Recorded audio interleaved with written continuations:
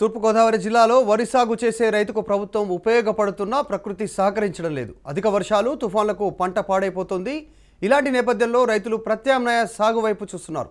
మెట్ట ప్రాంతంలో బొప్పాయి పంట వేసి లాభాలు ఆర్జిస్తున్నారు.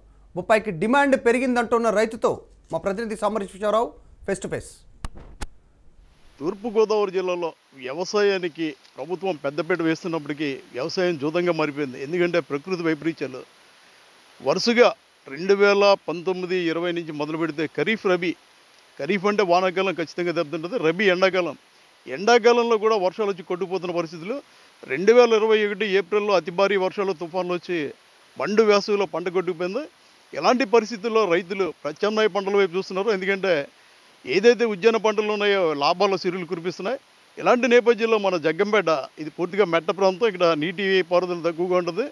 దాంతో రెండో పంటకి రైతు వరికి బదులుగా వేరే పంట వేస్తాడు. ప్రస్తుతం మనం మూర్తి అనే రైతు దగ్గర ఉన్నాం ఆయన బొప్పాయి సాగు చేస్తున్నారో. వివరాలు తెలుస్తున్నారు. ఈ రెండో పంటకి మీరు బొప్పాయి వేయడానికి కారణం ఏంటి? ఇక్కడ వరి పంటకి సాగు చేయడానికి వీలైనటువంటి ప్రాంతం సార్ ఇది. అయితే ఇక్కడ మాకు ఈ యొక్క సేద్యం చేసుకోవడానికి బొబ్బాయి కానీ లేదంటే టమాటా కానీ అటువంటి పంటలు వేసుకోవడానికే మాకు ఇక్కడ అవకాశం ఉందండి. ఏదైతే డ్రిప్ ఇరిగేషన్ ఉందో దాంట్లో మీకు సబ్సిడీ ఇస్తున్నారో ఎంత సబ్సిడీ ఇచ్చారు? మాకు సబ్సిడీ కూడా ఇచ్చారండి. ఫిఫ్టీ పర్సెంట్ వరకు మాకు సబ్సిడీ గవర్నమెంట్ వారు ఇస్తున్నారండి. ఎకరానికి ఎంత పెట్టుబడి అవుతుంది? దీనిలో లాభ నష్టాలు ఏంటి? మాకు ఎకరానికి ఎలా లేదన్నా ఒక ముప్పై వేలు ఖర్చు అవుతుందండి. మాకు ఇక్కడికే వచ్చి ఈ యొక్క వేసవకాలం అవ్వడం వలన షుగర్ పేషెంట్లకు కూడా ఎక్కువగా తినడం వలన ఇక్కడికే వచ్చి మాకు తీసుకువెళ్తుంటారండి. మాకు ఎకరానికి ఒక యాభై వేల వరకు కూడా మాకు ఇక్కడ గిట్టుబాటు అవుతుందండి. ఇది ఎప్పుడైనా గాలి కానీ వేసిందంటే ఈ యొక్క చెట్లు పడిపోవడం అనేటువంటిది సహజంగా జరుగుతుందండి.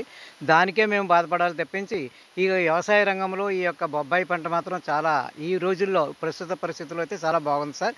అంటే హోల్సేల్ వ్యాపారులు కానీ రిటైల్ వ్యాపారులు కానీ నేరుగా ఇక్కడికి వచ్చి ఇక్కడ కోసుకుని వెళ్తారు మీరు మార్కెట్కి తీసుకెళ్ళాలని అవసరం లేదు. అంటే రవాణా ఛార్జీలు కూడా ఉండవు మీకు. అవును సార్ మాకు రవాణా మార్గ ఛార్జీలు కూడా ఏమీ ఉండవండి. వాళ్ళే వచ్చి ఇక్కడికి వచ్చి తీసుకెళ్తుంటారండి. అందువలన మాకు ఈ యొక్క సేద్యపు మాకు బాగా గిట్టుబాటు అయిందని చెప్పేసి తెలియపరచుకుంటున్నాను సార్.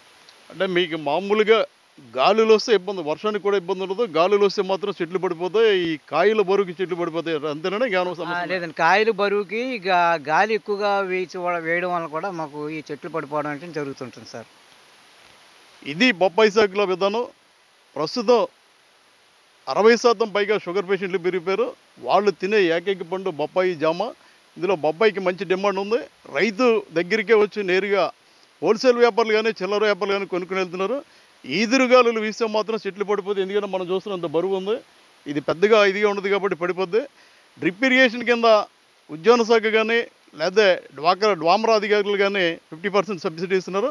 ఇలాంటి నేపథ్యంలో రైతులు ప్రత్యామ్నాయ పంటలకు వెళ్తూ లాభాలు ఆర్జిస్తున్నారు. అందుకు అభ్యుదయ రైతు కింద మూర్తిని మనం చెప్పుకోవచ్చు. ఇలాంటి రైతుల్ని ప్రభుత్వం ప్రోత్సహించే మరిన్ని ప్రత్యామ్నాయ పంటలు వచ్చే అవకాశం ఉంది. వ్యవసాయంలో పెట్టుబడి కూడా రైతుకి తప్పి లాభపడే అవకాశాలు కనబడుతున్నాయి. కెమెరామెన్ ధర్మబాబుతో సాంశీరావు రాజేష్ ప్రతినిధి